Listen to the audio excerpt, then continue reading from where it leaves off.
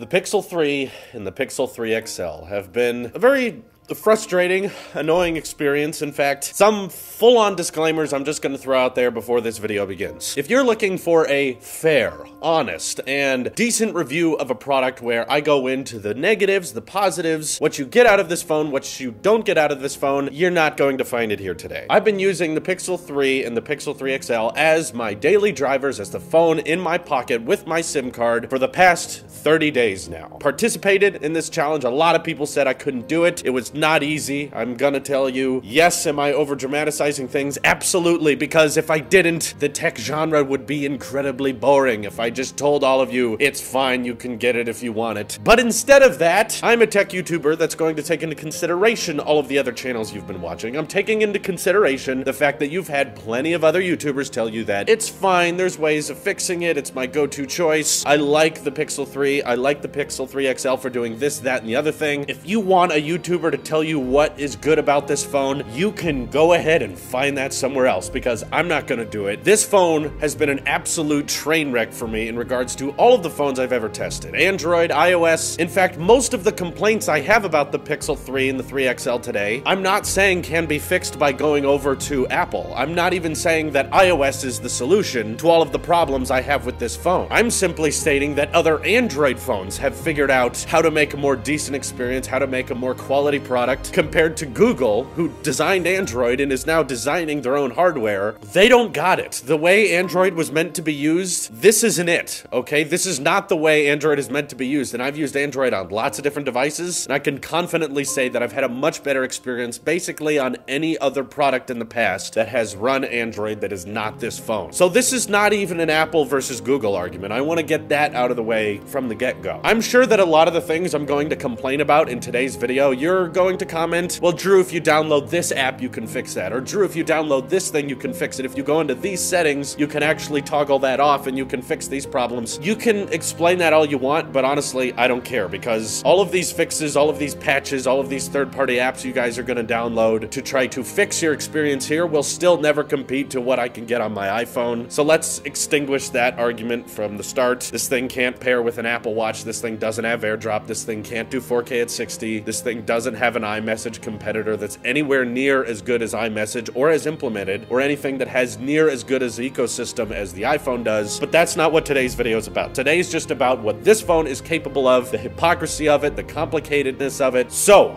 Without further ado, here is my rant. Very unfair, not nice, not optimistic, very pessimistic, absolutely nitpicking, incredibly first world problem review slash rant of the Pixel 3 and the Pixel 3 XL.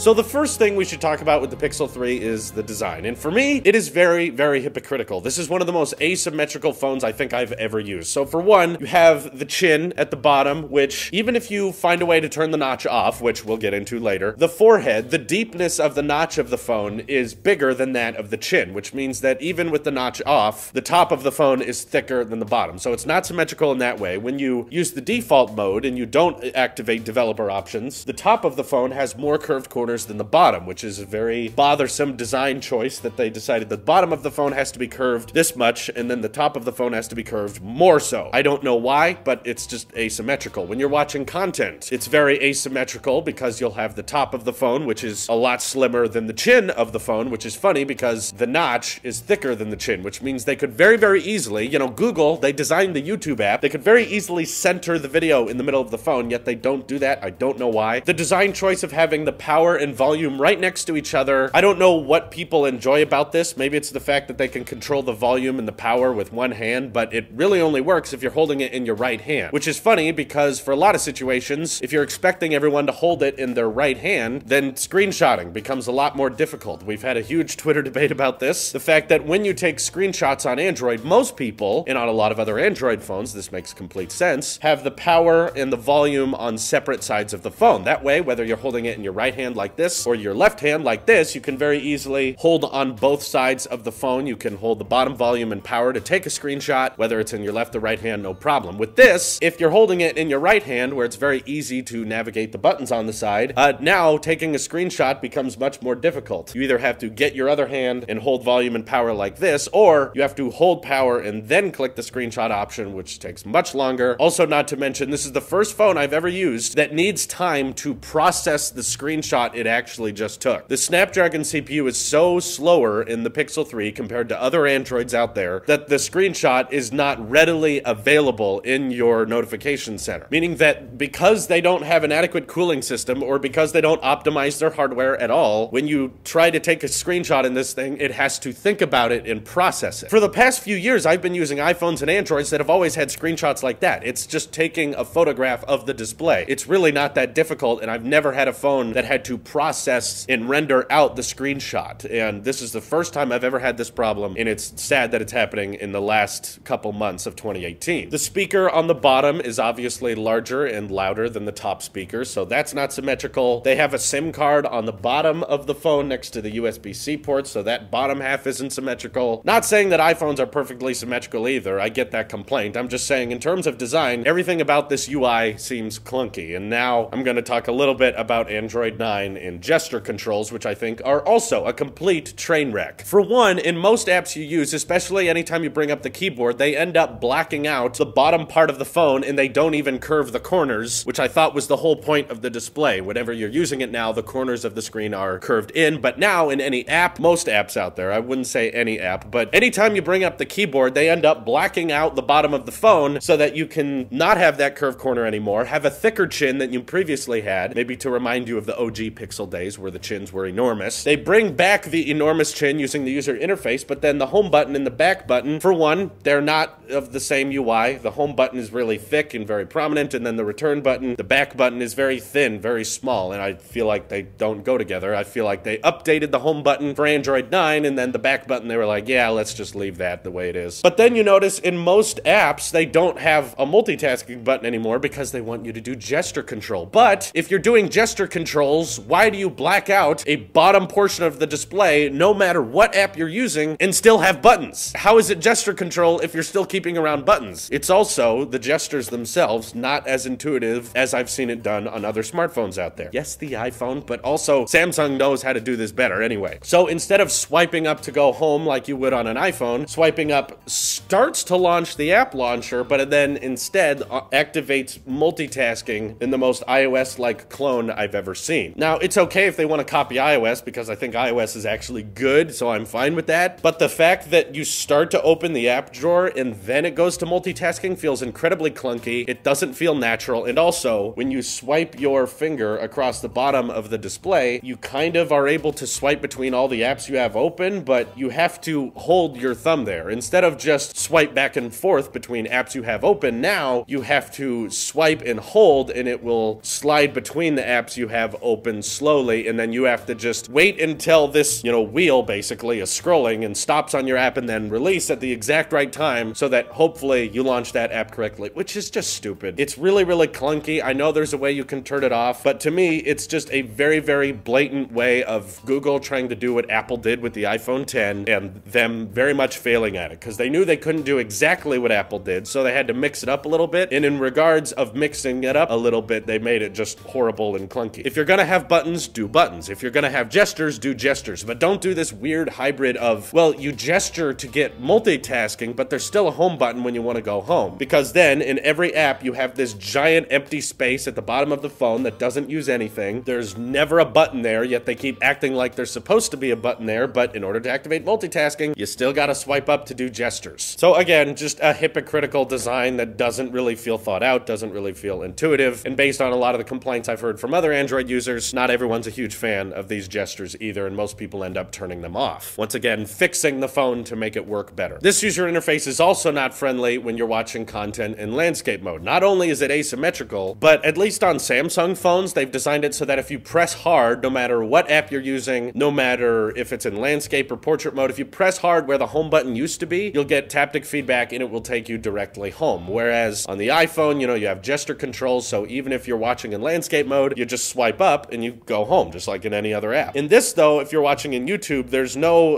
any of those solutions. You have to swipe to the side, bring up the home button, then tap it. So it's this combination of gestures and buttons being put together, which at the end of the day, still to me feels incredibly clunky. And while this may seem like a lot of you are just like, well, this is just nitpicking, Drew. These are just tiny things. These are things that add up, okay? When you're doing this all throughout the day and you realize, oh yeah, I gotta swipe up and then hit the button, and you try to activate multitasking and then you're in the app drawer and it's like, like, okay, I wanted the app drawer, so now anytime I access the app drawer, it has to activate multitasking at the same time. To which I respond, you know, I think gestures are better. I think when you're gonna make a bezel-less type design and you wanna have as much display as possible, gestures are in favor of that because gestures don't have to take up space on the screen. They allow you to navigate the phone, but they don't have to be dedicated buttons. So I like gestures, but honestly, if this is your idea of gestures, I would rather go back to the buttons. They should have just stuck with those and stop expecting people to just adapt to this this clunky way of doing it. So not a fan of Android 9 gesture controls. It just feels like Google's desperate attempt of, eh, we, we can be like Apple too, right? Another thing that bothers me about Android is that there's no volume changers on the display itself. Now, I know there's customizations you can make in the settings, but it bothers me that in situations like the phone's charging on the Pixel stand, and I'm just using like my right hand to change the volume really quickly, I can't just swipe down into the settings and control volume. Even in the edit toggle, there's no volume changing title that I can add to my settings. I'm sure there's some app I can download, but what I like about iOS is the fact that I can just quickly go to Control Center, change the volume, and then be done. Or even in our music apps, whether it be Apple Music or whether you use Google Play Music, it's very easy to just change the volume slider right on your iPhone. Whereas with Google's apps, there's no like easy volume control. Not to mention when you're on your lock screen, on iPhones, when you have music playing on your lock screen, you can change it when the phone is locked. And then you can scrub through your music with the playhead again as the phone is locked. Whereas this, when the phone is locked and you're playing music, basically all you can do is pause it, fast forward, and rewind with the display. If you want to change the volume otherwise, you have to go to the buttons, which mean basically, hey, I gotta pick up this phone. Whereas before on my iPhone, I could just have it charging, I could have it mounted on a stand or whatever, and I can very easily just change it with one finger, not have to pick up the entire phone and then change it that way. It just feels less intuitive, and I thought Android was about options. Not to mention iOS has their own built-in screen recorder. Android still doesn't. You have to go download another one. It's not native. And once again, I just feel like a missed opportunity, something that could very easily be fixed that they haven't fixed. Now, in regards to the ugly notch, I think the Pixel 3 XL could have looked incredibly cool in 2016 when notches were not a regular thing yet. We would have been like, okay, this is kind of weird. This is kind of bizarre, but they're trying to make the display more bezel-less and they got a pretty high screen to body ratio, so I get it. But the fact that there have been multiple other notches released since this one that have looked looked way more clean, way less intrusive, and way better at optimizing them for the software, this one has no exception. The iPhone 10 came out a year before this thing and had a much less intrusive, much more optimized notch. In fact, most of the time, apps don't know how to handle the notch on Android. See, on iOS at least, they've done a pretty good job kind of embracing the notch, getting out of the way, and not being too, I don't know, clunky about it. That's the only way I can think of describing it. But in most apps, when you open them, the notch is kind of considered not really there they just kind of gray it out and consider it top bezel and say, ah, just change that part of the phone to a different color, I guess. They don't really embrace it in most of the apps. Most of the time, they just put a line to where the notch ends and the user interface and say, okay, don't let these things touch each other. So probably because of the distortionness of Android, and there's so many different Android apps out there that the developers on the Play Store have to optimize their app for all these different phones, they're probably seeing the Pixel and going, eh, we're not gonna take time to do that. So most apps either, again, just kind of gray it out, change it to a different different color, which kind of ruins the whole beauty of this design trying to have curved corners and bezel-less look if anytime you open the keyboard, they black out the bottom and delete your curved corners and make the chin bigger. And then on the top, they just kind of gray it out. They don't turn it completely black. They just gray it out and turn it into some weird random color and it doesn't flow well with the user interface. It doesn't feel seamless. It feels like a prototype. And honestly, I'm amazed that the Pixel 3 XL in that notch got past the drawing board. Someone should have looked at this and said, okay, no, we're not going to do that. That doesn't look good. Let's try to think of something more intuitive and more clean. This should have been in a prototype laboratory of, well, if we decide to have an ultra wide lens, here's what the notch will look like. And then the guy in charge of design would have looked at it and gone,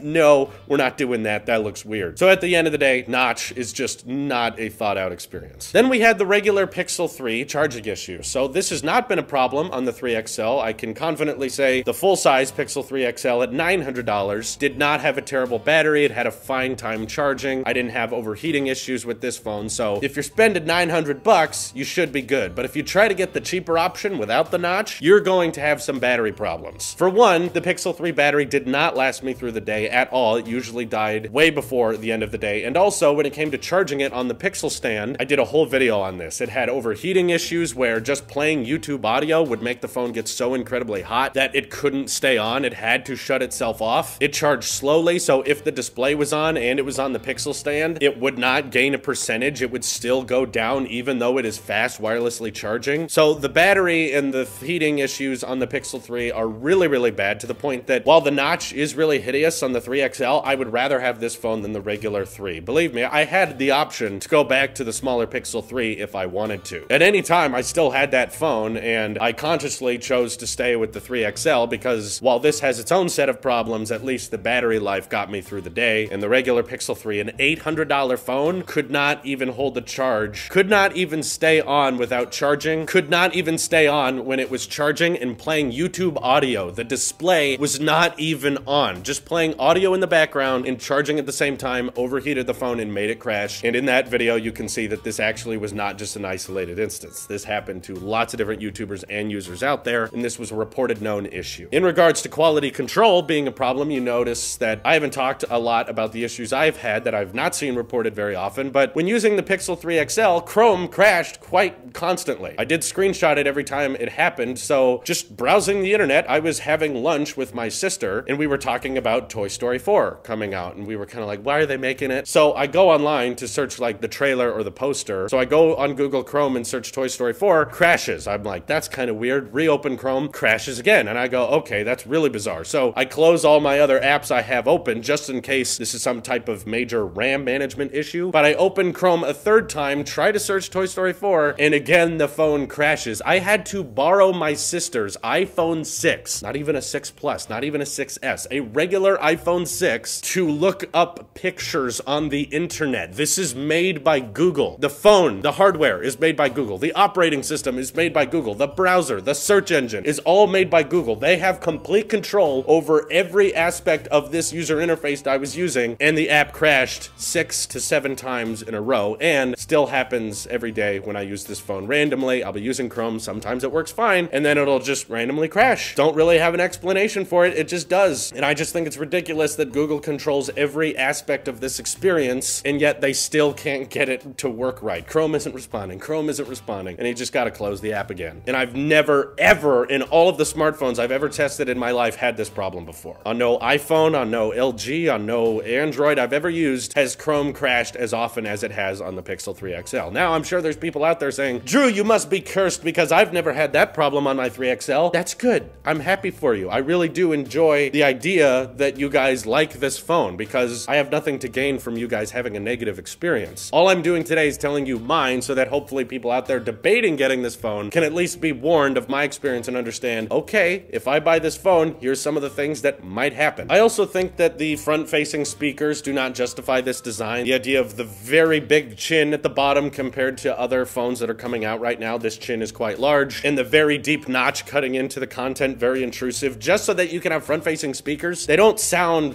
excellent. I've used front-facing speakers like on the Razer Phone 2. Those sound excellent and they blow away the competition. While stereo speakers, I agree, are nice, they definitely don't make or break the phone, but if you have to make these types of design compromises just so that you can have front-facing speakers, to me it's not worth it. They did not sound miles better than an iPhone. In fact, they sounded pretty average compared to the iPhone 10 I was using before. And if anything, I noticed that the iPhone 10 was actually quite a bit louder. It may not be directed at me, but if you just get your regular iPhone 10, probably a lot of you watching this video on it, and you turn up the volume all the way and you hold the back end of the speakers directly at you versus in front of you, the sound is not drastically different. It may seem a little bit more immersive to have the speakers pointed pointed straight at your face, but honestly, it doesn't really make that much of a difference. So front-facing speakers, it's cool, but if you're gonna make the phone look this bad, don't bother. Just put the speakers on the bottom. I think people will get over it. At best, these speakers were on par with the iPhones. At worst, they were probably a little bit quieter. I don't agree with YouTubers that say they were more clear. I've used both extensively and they sounded very, very similar, except the iPhone 10 has a much more aesthetically pleasing way of handling it, as do the Samsung phones. Now, this next thing, you guys are probably just gonna tell me I'm a liar fire on. You're welcome to do that. I didn't really have evidence of this because I'm not a durability channel. I do not film phones breaking. So I don't have video or photographic evidence of this. But back when I was using my iPhone 10s Max, I was laying down on my bed and the phone fell out of my pocket and onto the floor. We have a tile floor at our house. And I was really, really worried because this is like a two and a half, maybe three foot drop. Our bed's kind of high off the ground. It's not low to the ground. And I laid down, phone fell out of my pocket onto hard tile, no case on it. And I was like, oh no, I just just shattered my brand new iPhone. This sucks. I didn't even get Apple Care. So really worriedly, I turn on the lights, I pick up my 10S Max and go, oh,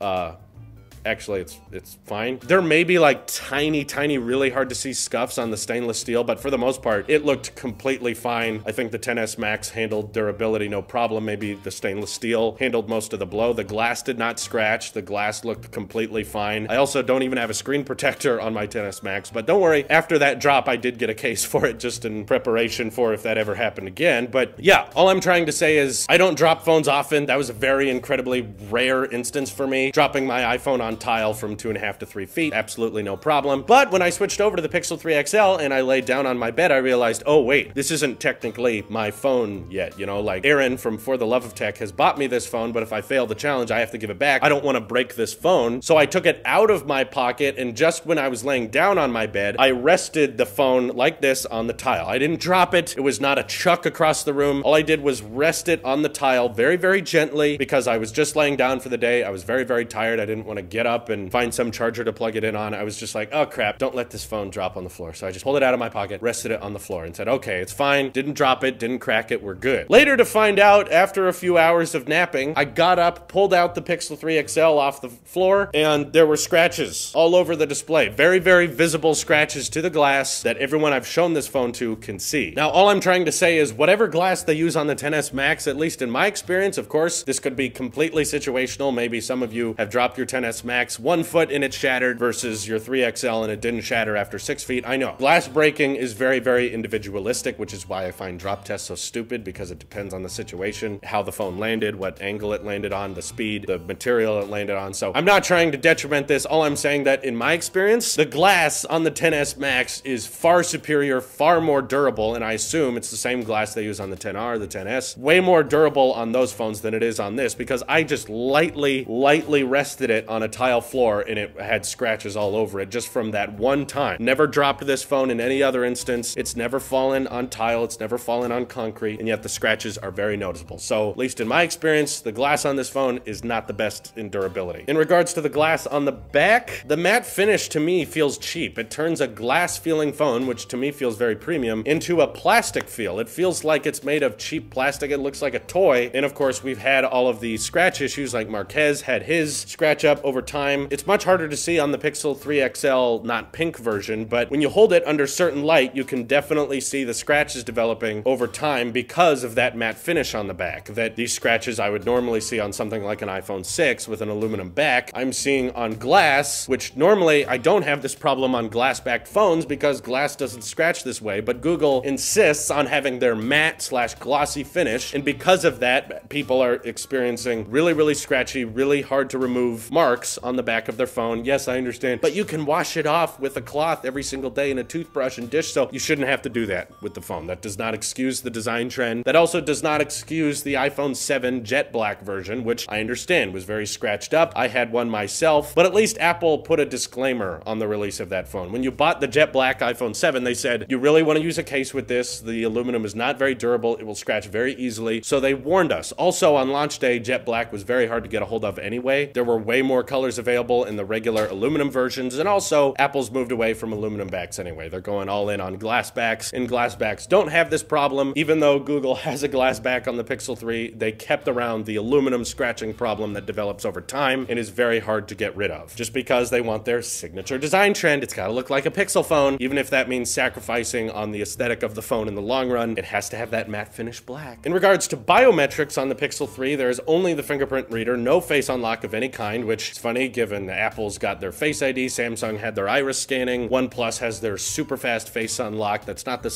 most secure method out there, but they have face unlock for people who want it. Not to mention OnePlus also has built-in fingerprint readers into the display for $550. With this $900 hunk of joy, you get a rear-facing fingerprint reader, just like old times, nothing fancy. They didn't even try to put face unlock. I thought maybe they got two cameras on the front. Maybe the two cameras can help make some type of secure face unlocking technique that makes the phone unlock really securely really in but nah, we don't want to do that. Let's just, let's just do the old fashioned fingerprint reader on the back while still having a big chin. Maybe they could have put a fingerprint reader on the front. I don't know. Putting it underneath the display seems to be possible. So I don't know why they couldn't do that, but yeah, they didn't really try very hard in the biometric stage. Not to mention on the smaller Pixel 3 when using a Pixel stand. So mind you, this is like a $900 charging experience. You can't reach the fingerprint reader because the charge stand covers it. So if you want to be able to unlock your phone without picking it up off of the Pixel stand, you got to spend $1,000 and get the $900 version and then $80 on the Pixel stand just so you can unlock it while it's charging. Whereas on any iPhone 10 with Face ID, you can just tap on the display and it unlocks because it's pointed directly at you. And Face ID is pretty reliable now. It's getting a lot better and I'm sure it'll get even better in 2019, but Google clearly doesn't care. They're just like, yeah, fingerprint reader, let's just leave it at that. Why try? You know, let's just charge premium prices and not do anything. Also, in regards to quality control, I got OLED burn-in on this model model after two days of use. Yeah, I unboxed it brand new, turned it on, and after two days, now this is very hard to get visualized on camera, but I do want to assure you in person, it is much more noticeable. I've handed this to lots of different people. My cousins who are Android fans and Randy Vasquez who came up for my wedding, uh, we all looked at it and can confirm this is definitely burn-in. This is a line in the display that is not supposed to be there. We did our best to take a picture of it. We have to change the lighting a little bit for it to show up, but because of the Pixel 3's bright display, it's kind of hard to get it to show up. But if you held it in person, I can confirm it's absolutely burn-in and it happened really, really fast. I never had any OLED burn-in on any other OLED display in my life. No Samsung phone had it, no iPhone with OLED had it, and I used them for prolonged periods of time with the display on for long periods of time, and I've never had burn-in until this phone, which I've barely owned for a month. I also think it's ridiculous that Google relies so heavily on your Wi-Fi for storage. You know, they have $800, $900 phones, but no 256 gig option because because they're just like, nah, we're sure you have good Wi-Fi. We'll rely on you for good Wi-Fi. We can just back up all of your files and all of your pictures and videos. We're sure you have great upload speeds, which if you do, I guess it works. I'm in favor of cloud storage, but there's plenty of people out there that don't want everything instantly being backed up because that affects their upload speed and can affect their livelihood, or maybe they just don't have great upload speed. So now whenever their phone comes on, it's going to mess with their Wi-Fi as it did for us. We do a lot of live streaming at the Tailosive office. And every time I would would take long videos or take pictures with this thing, it would start to bog down our internet because this thing is constantly backing up pictures and videos in the background. Maybe that's what affected the Pixel 3's battery so heavily is that they just assumed it would have no problem constantly uploading in the background when in reality that hurt the battery a lot. Not to mention no expandable storage. You know, we're in a time now where iPhones and Galaxies, we're getting 5, 12 gigs of storage. There's even reports that the Galaxy S10 could have a terabyte of storage. Now, I think that's absolutely ridiculous, but to the market out there that cares cares about those higher storage options, it's kind of ridiculous to me that Google phones, the way Android's meant to be used, kind of max out at 128 gigs, which is kind of considered normal slash standard for a lot of phones out there. A lot of phones come with 128 gigs by default, and this has that as the maxed out version at $1,000 for 128 gigs, and you can't upgrade it down the line if you want to. Again, this design choice would make sense, them skimping out on good hardware and having less hardware than much more premiumly priced phones. It would all make sense if the Pixel Apple was a much more affordable option. They would say, well, we can't afford to have those other storage options or those expandable storage because we want to keep prices low as possible. But they don't. This is an expensive phone where there shouldn't be much compromise. If people want options, they should have them, especially if they're buying into Google and Android. In spending 900 bucks, you should be getting a Samsung-like hardware experience. In return, you're getting a ultra budget Xiaomi $400 experience for 900 bucks. Now, I've complained a lot about the notch today and a lot of people, I'm sure, have said, Drew, you can turn off the notch and make the corners of the phone all the same roundedness. Well, let me tell you how easy it is to turn the notch off with Android in the settings app. So it's not something you can just find under display settings. On LG phones, you know, you can just go into settings and say, hey, turn the notch off. Or on Huawei phones, it's just open settings, go to notch and just turn it off. And then they put the clock and they put the data and the widgets up in the top corner. Well, they don't do that on the Pixel because, I mean, heck, they didn't even put reachability or one handed mode something we've had on iPhones for years, something we've had on Galaxies for years. If you want to use it with one hand, you can. You can activate one-handed mode or you can activate reachability. With Google, they didn't do either of that. But in regards to turning off the notch, here's what you have to do. It's very simple, guys. Just go to settings. We're gonna scroll down to uh, system, then tap about phone, then scroll down to the build number, and then you're gonna tap it seven times. One, two, three, four, five, six, seven, now I'm a developer. Now go back to system and hit developer options and you have them turned on. Then keep scrolling, just keep scrolling. There's a lot of these here. Go all the way down to display cutout. Then under display cutout, you can do tall cutout, you can do double cutout, or you can do corner cutout, in which case they'll cut out the corner of the phone. Yay. And also don't tap anything on accident in developer settings, otherwise this might happen. It's very easy to mess up stuff in developer settings, so really be careful of what you tap in there. But then yeah, after that, the notch goes away. Very, very easy. Also, you can have a double notch or a corner notch if you want. What are they thinking, why on earth would anyone have a double notch? Not to even mention, with the double notch, the notch on the bottom is not even the same shape as the actual Pixel 3 XL notch. So if you wanted more asymmetrical design, there you go. The 3 XL could be even more asymmetrical. You can have a chin and a off-centered, weird-looking notch that's different from the notch on the top of the phone. Yeah, I don't, I don't get it. I, I'm so so confused as to why Google thinks that someone would want two notches, but it's for developers, except everyone wants to turn this off. Everyone. Now, of course, I've complained about this phone for a long time today, and I'm sure all of you are expecting me to talk about the camera. But Drew, the camera, Drew, the camera, the camera's good though, the camera's good, but the camera's decent, Drew, so it's okay. It's the best camera on a smartphone. No, it isn't, all right? Just stopping you right there. This is not the best camera on a smartphone. You cannot tell me that this is the best camera on a smartphone where they're literally removing video video options. Cameras on our smartphones do a lot of things. They take pictures, they take panoramas, they take videos, and you can't throw out the complete performance of video and then say that this camera is the best in a smartphone. That's not true. I don't even think for stills this is the best camera in a smartphone. Yeah, I'll say it. I'll go there. You want me to go there? I've taken a lot of pictures with the Pixel 3 and the Pixel 3 XL and compared them to the iPhone 10R or the iPhone 10S. And you know what? It gets bokeh pretty good, but sometimes it'll mess up just like any other phone. I'm not saying I'm not saying the 10S or the 10R are way ahead in terms of photography, but on Samsung phones and on iPhones, you can see the portrait shot in real time. You don't have to wait six seconds for the image to process. The bokeh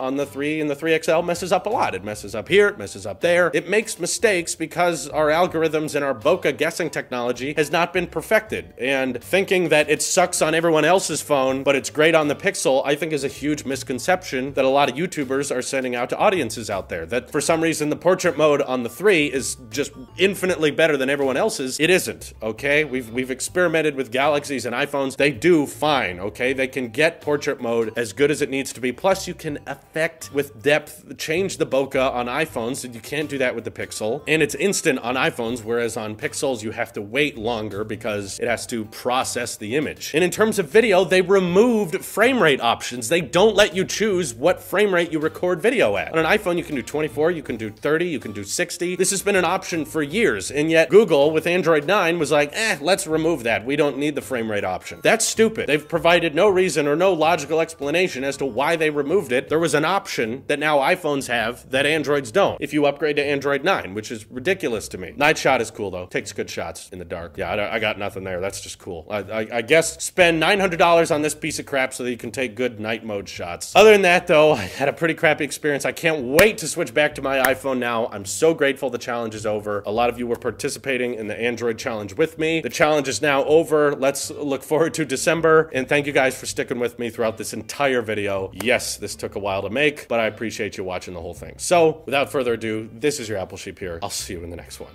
Goodbye, Pixel.